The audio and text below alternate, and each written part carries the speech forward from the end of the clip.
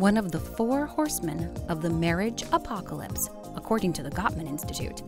If you feel like you are feeling a lot of negative energy coming your way from your wife, you may be wondering Does my wife hate me? Anger and resentment are issues that can destroy a marriage over time if they aren't addressed. If you want to avoid losing your wife and family, let's go over the big signs that your wife has lost that loving feeling. She's mean. She can't fight fair. She's hurling painful insults at you, name calling and screaming at you for hours. In fact, I bet it seems she's always angry with you, and she doesn't care if she hurts your feelings. She puts all the blame on you. Resentment rears its ugly head right here. She blames you for how her life turned out. Look back on your marriage. Was it full of compromise? Did you put as much into it as she did? Right or wrong, if her anger has been seething beneath the surface for a long time, she's sure to act with hatred towards you. She's giving you the silent treatment.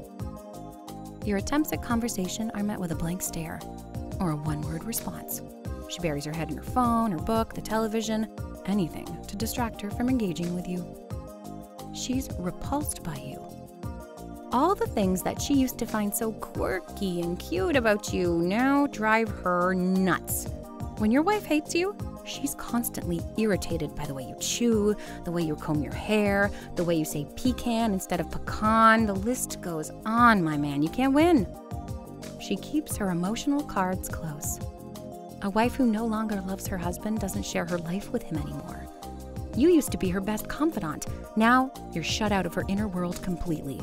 She's making decisions without your input because she no longer finds value in your consultation. Look, a minor spat or even a huge fight doesn't always mean your wife hates you.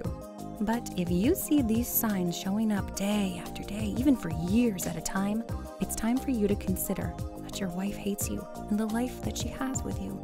It might not be too late to save your marriage, but we urge you to get help like therapy as soon as you can before all is lost.